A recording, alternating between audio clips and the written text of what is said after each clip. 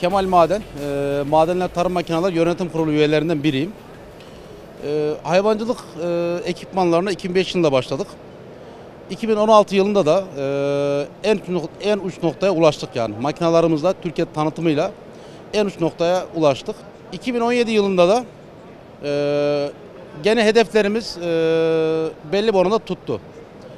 Şimdi 2018'de beklentilerimizle, e, yeni ürünlerimizle girdik piyasaya ve eski ürünleri tekrar takviye ederek e, daha iyi bir müşteri potansiyeline sahip olmak istiyoruz. Madenlerde genelde e, son zamanlarda gübre yönetimiyle alakalı makinalarımız var.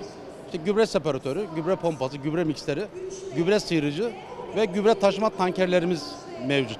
Yeni ürünlerimiz e, geçen yıl ürettiğimiz 10 tonluk tankların bir büyüğünü yaptık. 15 tonluk. Bununla tabii çiftçilerimiz daha az mazotla, e, daha iş gücü kaybıyla gübreden kurtulmuş olacaklar.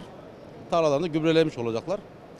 E, daha yeni ürünlerimiz e, kuyruk milli, traktör kuyruk milli e, gübre karıştırıcıları, karıştırıcılarımız ve kuyruk milli e, gübre pompası ve e, mikser beraber makinalarımız mevcuttur. İzmir Fuarı'na bu 6. katılışımız. Şu an gayet güzel, memnun, memnunuz yani şu anki fuardan. Beklentilerimiz yüksek bu fuardan.